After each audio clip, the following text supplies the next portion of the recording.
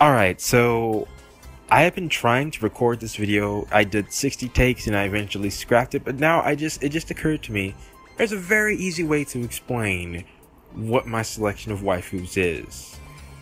Just let's remember my character ranking list, and if you haven't see it, seen it, I uh, would recommend watching it. I, I thought it was pretty fun. I categorized uh, the main cast of CPUs and uh, IF, Compa, and Histoire as a waifu, sister, daughter, mother, and uh, there was another one, wasn't there? But anyways, that doesn't matter. The point is, my top. Let's focus on my top four main uh, top four characters. IF was number four, Noire was number three, Nepgear was number two, and Neptune was number one.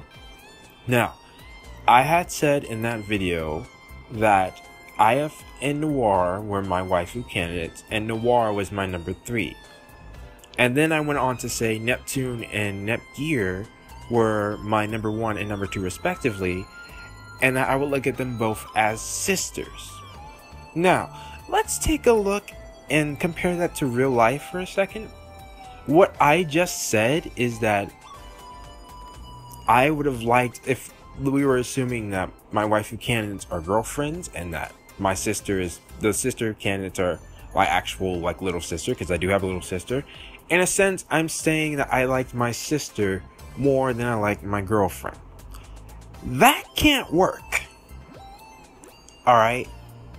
So, that, that, that doesn't work. At least, in my opinion, you should like your girlfriend more than you like your sister. Like, that's, you, you grow up with your sister, but your girlfriend, you know, that's somebody you choose to live, spend the rest of your life with.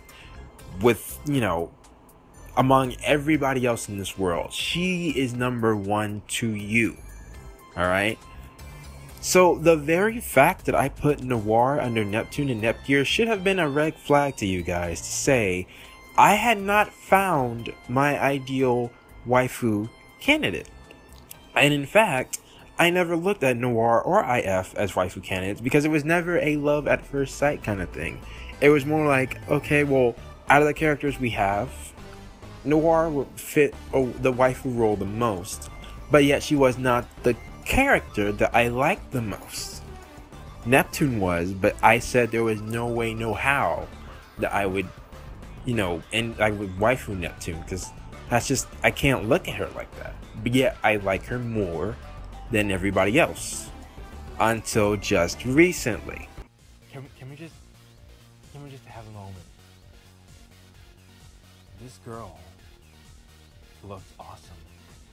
Like, okay, Noire, IF, I love you, but, and I haven't seen much of this girl, but, do we have a new favorite already? Oh, what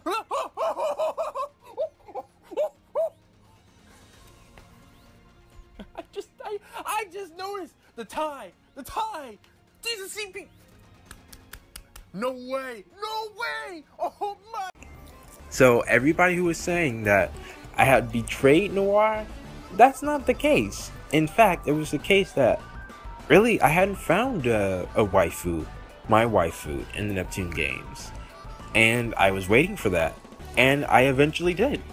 So yeah, I just wanted to clarify that because that's why like I like Noire, don't get me wrong, but if something happens to Nepgear or Neptune, I feel way more like I ha- I feel way more about that than I do about Noire. As much as I like Noire, she isn't my favorite character, and therefore she could not be my waifu candidate because you can't have a girl you like more than your waifu. You just can't. So yeah, uh, that's finally, finally, I got this point across because that's been one I've been wanting to say for a while now. I had, I wanted to go in more depth, more detail because eh, but I'm just I'm not going to. This is all you guys need to know and uh, it's just, you know, a short little thing. So yeah. Uh I hope that clarifies things and hope you guys understand why it was such a change because I was looking for somebody to be to beat Neptune in a sense. Um so yeah.